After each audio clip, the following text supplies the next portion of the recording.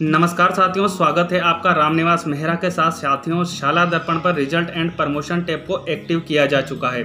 ऐसे में यदि आपके विद्यालय में कोई छात्र गलत प्रमोट हो गया हो या कोई विद्यार्थी प्रमोट किसी कारणवश नहीं हो पाया हो या किसी विद्यार्थी को आपको डी प्रमोट करना हो तो ऐसे में आपको रिज़ल्ट एंड प्रमोशन टैब पर कार्य कैसे करना है, उसकी जानकारी लेकर आज मैं आपके साथ उपस्थित हूँ। और हाँ साथियों, आपसे निवेदन रहेगा कि यदि आप संपूर्ण प्रक्रिया जानना चाहते हैं तो आप इस वीडियो को अंत तक अवश्य देखिए। निश्चित ही वीडियो आपकी मदद करेगी। तो चलिए साथियों, शुरू करते हैं आज का वीडियो और देखते हैं प्रक्रिया। सबसे पहले आपको विद्यालय को लॉगिन कर लेना है। इस तरह का प्रश्न आपके सामने आएगा। अब साथियों, यह विद्यार्थी से संबंधित कार्य है तो यहाँ एक टैब हमें उपलब्ध है। विद्यार्थी, इस पर आपको क्लिक कर लेना है। अब यहाँ कई तरह के अन्य ऑप्शन आपके सामने आएगा। यहाँ एक ऑप्शन आपको मिलेगा रिज़ल्ट एंड प्रमोशन तो इस पर आपको क्लिक कर लेना है। जैसे ही आप उक्त ऑप्शन पर क्लिक करेंगे, नीचे की ओर आपके सामने एक इम्पोर्टेंट नोट आएगा। तो साथियों, मेरा आपसे अनुरोध है कि आप इस इम्पोर्टेंट नोट को अवश्य पढ़ें। और इसमें जो इंस्ट्रक्शन आपको दिए गए हैं, उनको अवश्य फॉलो करें। अब यदि आप इससे संबंधित यूज़र मैनुअल डाउनलोड करना चाहते हैं तो यहाँ आपको एक ऑप्शन अवेलेबल करवाया गया है यूज़र मैनुअल वो भी डाउनलोड करके आप देख सकते हैं और उसे रीड कर सकते हैं, जानकारी ले सकते हैं। अब आपको यहाँ नीचे की ओर आ जाना, यहाँ आपको मिलेगा लास्ट सेशन तो लास्ट सेशन के नीचे हमें सेलेक्ट बॉक्स दिया हुआ है तो इस पर आपको क्लिक कर लेना है। जैसे ही आप इस पर क्लिक करोगे, हमारे सामने सेशन की लिस्ट ओपन होगी। तो पिछला जो हमारा सत्र था, वो 2020-21 था। इस पर आपको क्लिक कर लेना है। अब इसी के नीचे आपको क्लास मिलेगा। क्लास में भी आपको सेलेक्ट बॉक्स दिया हुआ है। तो यहाँ जैसे ही आप क्लिक करेंगे, आपके विद्यालय में जितनी भी क्लासेस चलती होगी, उसकी इन्फॉर्मेशन आपके सामने यहाँ डिस्प्ले हो जाएगी।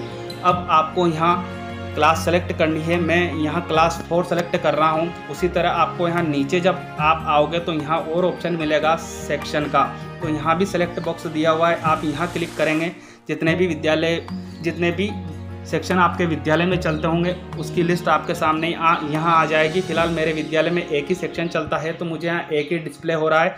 अब सबसे अंत में आपको ऑप्शन मिलेगा गो का तो इस ऑप्शन पर आपको क्लिक कर लेना है। अब इस तरह का प्रश्न आपको नीचे की ओर डिस्प्ले होगा। यहाँ सबसे पहले आपको सीरियल नंबर मिलेगा। उसके बाद छात्र के एसआर नंबर आपको डिस्प्ले होंगे।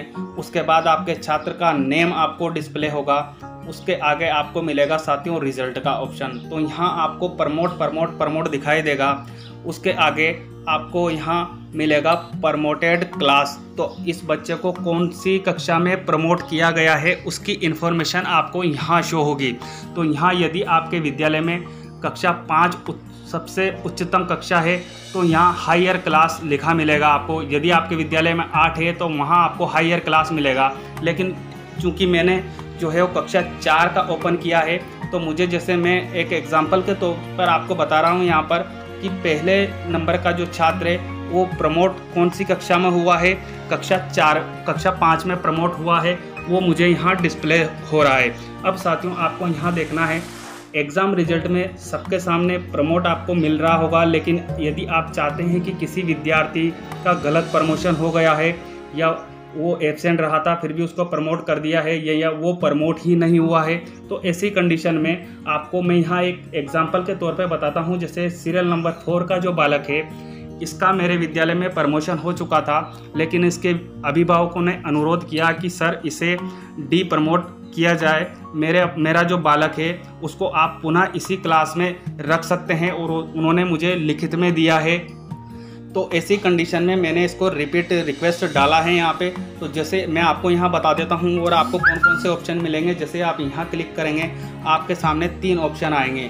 प्रमोट उसके बाद रिपीट रिक्वेस्ट उसके बाद एबसेंट तो जो भी आप करना चाहते हैं, यदि छात्र को प्रमोट करना चाहते हैं तो प्रमोट वाले ऑप्शन पर क्लिक करेंगे और उसके बाद यदि आप रिपीट करना चाहते हैं तो रिपीट वाले पे क्लिक कर लेंगे और यदि वो एबसेंट रहा है और गलत प्रमोट हो रहा है तो आप एबसेंट भी यहाँ उसे शो कर सकते हैं। ये डिपेंड करता है आपके विद्यालय की सिचुएशन पर। और साथियों, मेरा आपसे निवेदन है कि ये जो वीडियो है केवल आपके हेल्प के लिए है।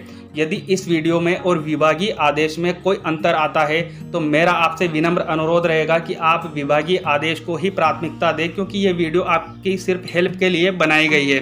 तो मैंने फ़िलहाल यहाँ कर लिया है।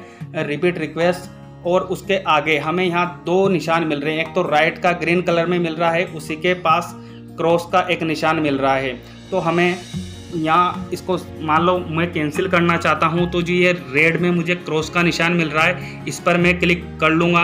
अब जैसे इस पर मैं क्लिक करूँगा, शाला दर्पण थोड़ी देर प्रोसेस करेगी और इस तरह का डायलॉग बॉक्स आपके सामने डिस्प्ले होगा, जिसमें मुझे मिल रहा है अब।